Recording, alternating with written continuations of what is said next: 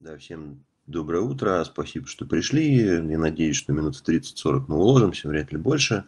Вебинар будет записан. Соответственно, сейчас э, я полистаю чуть-чуть слайд. Здесь, в принципе, все это написано. Соответственно, э, это презентация, которую Тринов аудио показали где-то, наверное, три недели назад, как раз во время нашей э, последней и обучения Академии Custom Install. Немножко ребята мне поруинили мой запланированный на тогда э, точно такой же вебинар. Мне пришлось его перенести, потому что я хотел, э, ну, скажем так, дождаться уже официального релиза, посмотреть, что это, как это на нашем офисном процессоре, и уже сделать так, чтобы это можно было записать, выложить на YouTube, и потом тех, кто пропустит, отправлять, досматривать э, уже в офлайн. Значит, про что этот вебинар? У э, компании Trinov Audio вышла новая прошивка. Прошивка, э, соответственно, версии э, 4.2.16.8. Хотя, мне кажется, она вполне достойна была там версии 4.3. Я не знаю, честно, как они маркируют. Но, короче говоря, вот такая вот сложная у них э, история. Очень важная прошивка, на самом деле, которая, по большому счету, состоит из двух важных обновлений. Э, ну и, собственно, по очереди мы про них поговорим. Эм, запись разошлется через какое-то время, не через 24 часа. Слайды эти рассылать я не буду, соответственно, как здесь написано, вряд ли они вам будут интересны. Значит, вы все слушаете, если будут вопросы, набивайте в окошке э, вопросы, и я, соответственно, почитаю, постараюсь читать и по ходу э, презентации как-то аккуратно отвечать. Э, значит, поехали. Соответственно, э, как я уже сказал, э, релиз прошивки 4.2.16.8 в основном состоит из двух э, больших обновлений. Это добавление четырех дополнительных каналов для процессоров Altitude 16, Altitude 32 и, соответственно, официальное включение поддержки IMAX Enhanced. Значит, как проапгрейдиться? И нужно ли вам апгрейдиться. Э, ну, во-первых, почему бы и нет. Э, я считаю, что это, во-первых, для вас, инсталляторов, отличный повод позвонить вашим старым клиентам э, и сказать, что, там, уважаемый Иван Иванович, вот для вашего процессора вышла новая прошивка, совершенно бесплатно, у вас будет плюс 4 канала, неважно, нужны они вам сейчас или нет, может быть, потом в будущем пригодятся, или мало ли будете продавать процессор, пригодятся и так далее. Э, может быть, допродать туда еще пару сабвуферов, или еще, может быть, там какое-то количество потолочных каналов, или еще что-то. Ну, в общем, как бы на моей памяти, если честно, такие вот бесплатные обновления, когда процессор из 16-канального становится 20-канальным, честно говоря, были крайне редко, если были вообще. То есть, ну, вот прям, я честно не припомню. Если кто-то помнит, напишите, я с удовольствием это обсужу. Э, так, значит, как проверить? То есть все очень просто, соответственно, включу на секундочку показ экрана своего. То есть, ну, либо вы можете позвонить мне, соответственно, написать и сказать серийный номер аппарата, и он включен, и я могу зайти посмотреть, нужно ли это. Если, соответственно, нет, то... Так, вы видите сейчас интерфейс Altitude 16 с номером 100 на экране? Напишите, пожалуйста, что-нибудь. Э, нужно зайти э, вот здесь вниз э, в вкладку «Инфо», во вкладочку «Updates» и, соответственно, нажать «Check for Updates». Если ваш аппарат подключен к интернету правильно, никакие порты не заблочены, нужные и ненужные, либо он напишет вот такое сообщение, что ваша система работает под управлением наиболее последней версии, но это вряд ли, потому что я за последнее время всего 5 аппаратов обновил из там почти двух сотен проданных в России. Э, либо, соответственно, она напишет, что э, можно обновиться. Да? Для обновления, соответственно, нужно написать мне номер аппарата, его модель и сказать, что он будет в сети там тогда-то, тогда-то, в идеале прямо сейчас, и в течение 15 минут, собственно, это все обновляется. То есть первая неделя обновление было довольно сложное, там куча народу обновлялась, сервера были заняты, сейчас все спокойно происходит. Так, возвращаемся к презентации, потом еще немножко продолжим с показом экрана. Так, значит, э, что еще? Теперь, собственно, давайте поговорим про то, э, из чего эта прошивка состоит и зачем она нужна.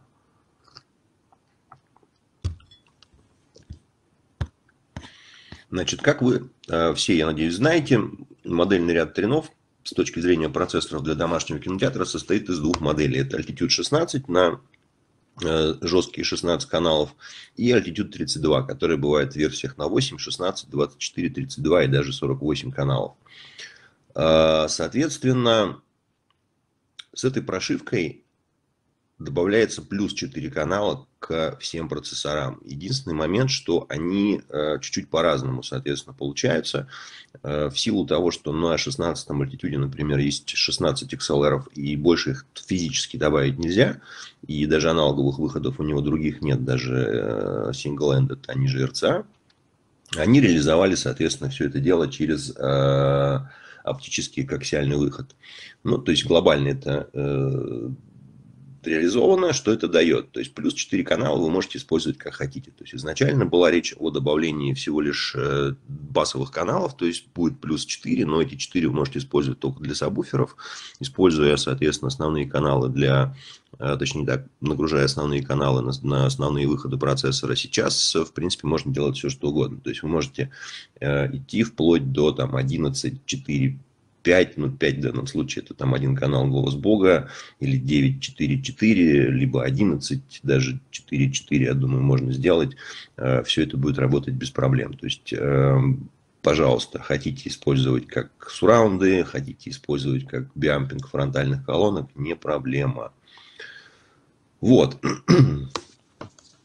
Значит, э, соответственно, следующая история, э, которая, ну вот произошла буквально недавно, поэтому, собственно, произошла задержка с выпуском и э, с этим вебинаром, который вы сейчас слушаете. А, изначально планировалось снять все четыре канала с того же 16 альтитюда по оптике с помощью протокола ADAT. Это относительно новый протокол. Он, в отличие от Таслинка, может быть э, до 8 каналов. С него можно снимать э, с дискретностью, там, по-моему, 48, ну, если меньше каналов, то вплоть до 96. Э, но в процессе, соответственно, тестирования выяснилось, что э, текущие ADAT-конвертеры, они не очень хорошо работают с автоматическим изменением э, частоты сэмплирования, подвисают щелчки и прочее, прочее, и это как бы ну, не очень стабильная, надежная работа. Вот, вместо этого было решено в 16 мультитюде использовать оптический выход и коаксиальный выход, то есть два цифровых выхода каждый по стерео. Ну и, соответственно, они э, позволяют использовать большее количество ЦАПов, ну то есть э, количество, скажем так, приборов, которые вы можете использовать, оно просто в сотни раз больше автоматически становится, потому что с адатом ЦАПов на рынке я нашел, ну, буквально пяток, может быть, я не сильно искал, но буквально пяток. При этом самый дешевый Беринджер стоил, по-моему, в рознице 19 тысяч рублей. Э, ЦАП с SPDIF либо с оптики на аналог, э, ну, самый простой, там, типа FIO, он стоит, по-моему, 100 долларов. То есть, и это маленькая коробочка, а не здоровая рековая железяка. Ну, в любом случае, выбор за вами. Тот же Behringer, который мы купили, э, я уже расстроился, что мы не будем его использовать. Он имеет обычный тослинковский оптический вход, и, соответственно, он будет использован у нас в демо как вот образец, как можно, допустим, для сабов снять с оптики, да и у него балансные выходы, а не а, single edit. Но, тем не менее, то есть, как бы глобально я считаю, что это неплохо и нехорошо, это, в принципе, нормально, то есть, у вас есть два дополнительных выхода, которые нужно сконвертировать в аналог, это оптика и коаксиал. Да, то есть, как вы это сделаете, это э, ваша история, но это совершенно точно более надежный, более проверенный годами способ э, конвертации, чем ADAT. Соответственно, как это все делается в процессе настройки, да, то есть если вы настраиваете новый аппарат, то, наверное, имеет смысл, ну, и не очень хотите как бы погружаться во всю эту историю, идти через э, автоматический э, мастер настройки, где, соответственно, там нужно включить это все вот так, как показано на картинке. И, соответственно, у вас появится дополнительное количество каналов. Вот как вот здесь. Вот давайте я переключусь снова на экран, покажу, как это выглядит у нас. То есть, если вы, например, зайдете в стандартную вкладку с каналами, то количество каналов у вас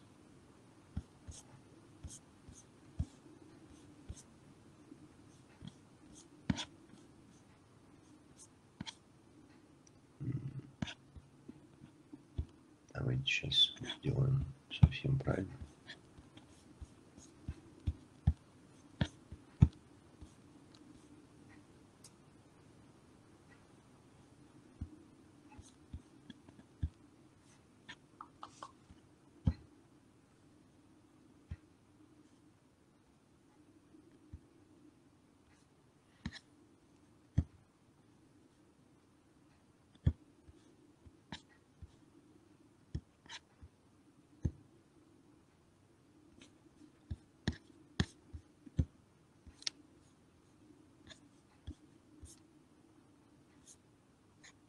То есть вот, соответственно, я сделал схему 926, э, это, соответственно, уже 17 каналов, и вот у меня появился 17 сабвуфер, и здесь, соответственно, я могу выбирать, э, какой из 20 выходов ему назначить. Да? То есть вот глобально ничего не меняется, то есть когда вы правильно назначите все выходы на страничке с Э, конфигурации входов-выходов, у вас просто здесь появятся, соответственно, вот эти вот дополнительные штуки.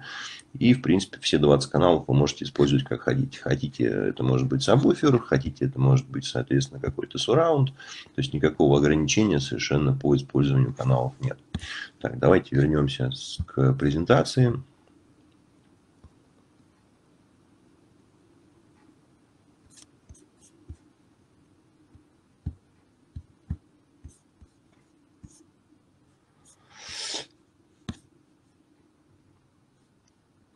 Так, ну и, соответственно, да, здесь э, нужно напомнить, что если вы используете уже текущую конфигурацию с нужным количеством каналов, э, допустим, там с 15, и хотите добавить еще два канала, то как только вы добавите каналы, вся ваша история с калибровкой слетит. То есть будьте готовы, что ну, при добавлении какого-то количества каналов, неважно, что это сабвуферы, либо колонки, ну, физических, да, то есть, либо даже логическом, то есть, ну, нужно либо записать эту историю, если вы хотите поиграться просто в отдельную ячейку, да, либо, соответственно, быть готовым, что придется перекалибров... Перекалибров... перекалибровывать, когда вы закончите э, эти эксперименты. Так, есть вопрос от Александра Щедрова, почему сразу нельзя было аналоговый выход поставить?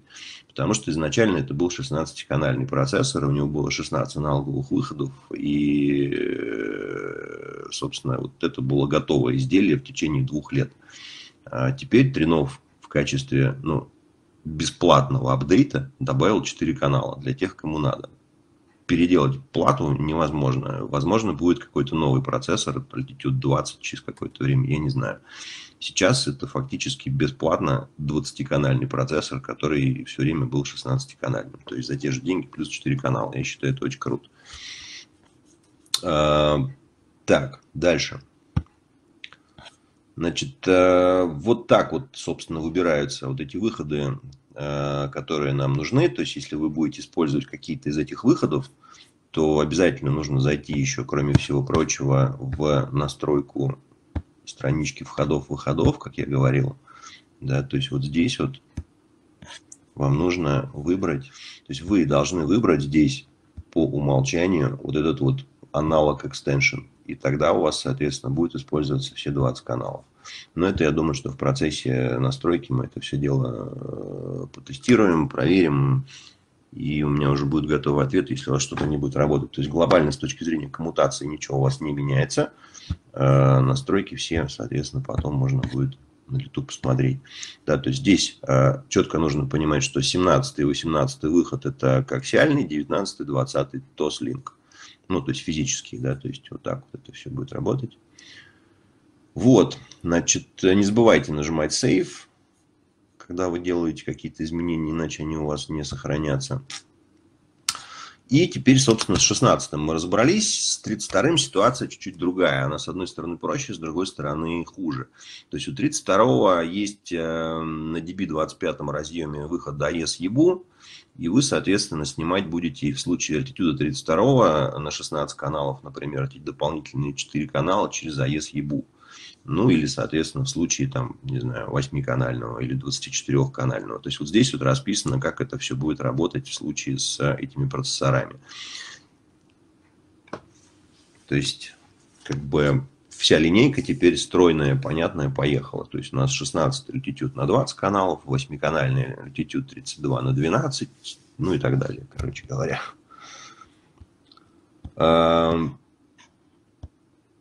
Вот это важная история, которую тоже нужно понимать. Значит, смотрите, если мы включаем эту опцию дополнительных четырех каналов на 32-м альтитюде, который, в принципе, до этого жил э, в формате 192 кГц, и на AES EBU, соответственно, он мог отдавать эти 192 кГц, по-моему, тоже, если я не ошибаюсь. Но в данном случае они ее понижают до 96, потому что для кино этого более чем достаточно. Все равно дополнительные 4 канала все-таки нагружают процессор, и для того, чтобы точно все было нормально, они понизили сэмплинг рейт. В случае с 16 альтитюдом ничего не меняется, потому что он и так жил в 96 килогерцах. Почему это не важно для кино? Потому что э, подавляющее большинство саундтреков и объектов к ним и так далее, ну, за исключением концертов на каких-то там аудио блюреях. Э, так вот, все кино записано в 48 килогерц. И никаких там нет потребностей в больше, чем эти 48, а то и 96. Так, Значит, дальше. Э, что у вас может быть в процессе подключения и так далее? То есть вы можете столкнуться с тем, что у вас нет звука. Да? В этом случае посмотрите, пожалуйста, что ваш ЦАП поддерживает эти 96 на 24. Э, проверьте, чтобы клок был синхронизирован там и прочее, прочее, прочее. Да? То есть вот эти все вещи, э, ну, то есть нужно понимать. То есть вот тот же самый FIO, я что-то боюсь на самом деле, его нужно проверять, потому что этот FIO D04, я очень часто его использовал, когда делал какие-то инсталляции своих в качестве ЦАПа с телевизора, чтобы оптику снять, конвертировать в аналог. Может быть, он только до 48 поддерживает, надо смотреть. То есть, вот с ЦАПом единственное требование, чтобы он поддерживал 9624. Так. Дальше. Значит, если вдруг у вас 32 альтитюд на 16 каналов, например, и выше, и он использует АЕСовские ауты, все. Ну, то есть, например, у вас там какая-то серьезная система с цифровыми усилителями. Например, вот у Антона Заднепрянова стоит Alcons, там усилители входы АЕСовские. Раз-раз, слышно меня?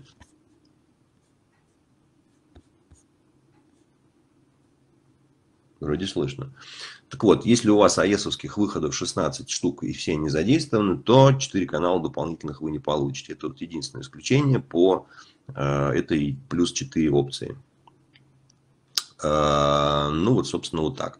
Как они это решат, я не знаю. Я надеюсь, что рано или поздно они это решат через AES-67, который, в общем-то, давно уже обещается. И вот там этих ограничений не будет, и никаких там проблем с выходными разъемами не будет. Все будет сниматься по AES и через интернет отдаваться на усилитель. Это будет очень круто. Так. Дальше. Теперь про IMAX что это такое, нафига это нужно и э, стоит ли вообще об этом упоминать.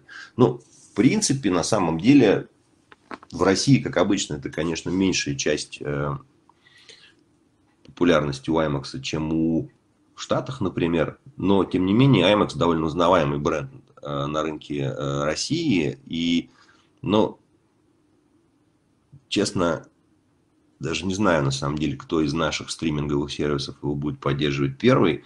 Но вроде как, вроде как Disney Plus там уже кучу тайтлов, соответственно, собирается релизить э, и прочее, прочее. Не знаю, чем все закончится через год-два, непонятно, но вы можете быть первым, кто придет к клиенту и скажет, вот Timex Enhanced, бла-бла-бла, все такое.